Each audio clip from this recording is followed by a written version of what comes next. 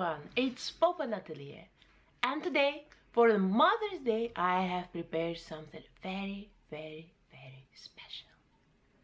And this is the first time I filmed it myself for YouTube so don't judge too hard.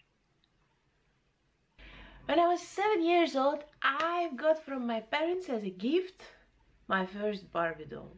And of course I was completely obsessed. I was constantly playing all kinds of games with my best friends but my mom, it seems, also fell in love with this doll and she started to make just numerous, numerous amounts of clothes. Approximately every day she made a new piece of clothes for them.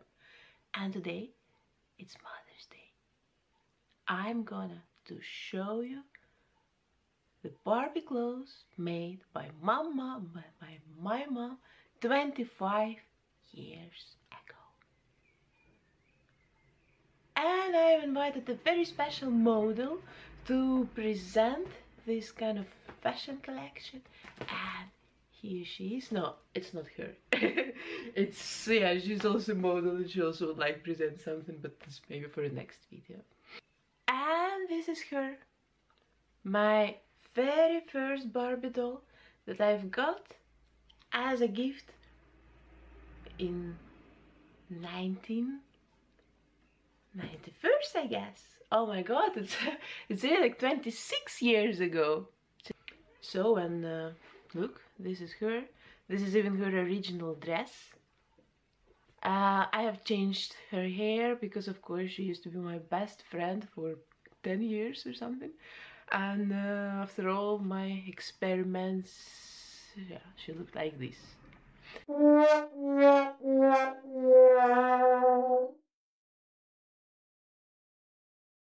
So I completely changed her hair, but her face and her uh, dress, everything is in a good condition.